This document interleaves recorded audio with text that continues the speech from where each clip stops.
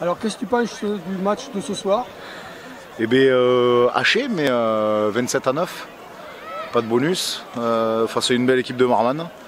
je les ai vus la semaine dernière contre Florence, forcément, parce qu'on a, tous les fichiers vidéo. Et ils ont été très très agressifs ce soir et on, a eu du mal à réagir. Hein. je pense que je pense qu'on les a beaucoup déplacés, ils se sont fatigués et on a réussi à marquer. Voilà, après euh, on est toujours approximatif.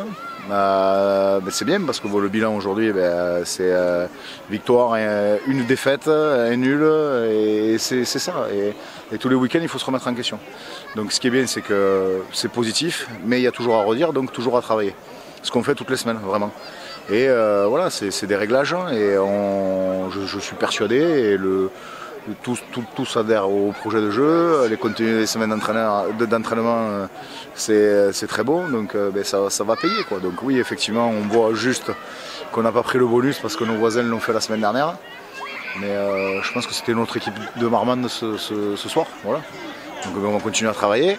On va, bien préparer le dernier match du bloc à l'Anne-Mezan parce qu'on doit se rattraper. Moi, à la maison, invaincu, c'était l'objectif de la saison. Donc ben, aujourd'hui, euh, finalement, euh, on est toujours invaincu à la maison.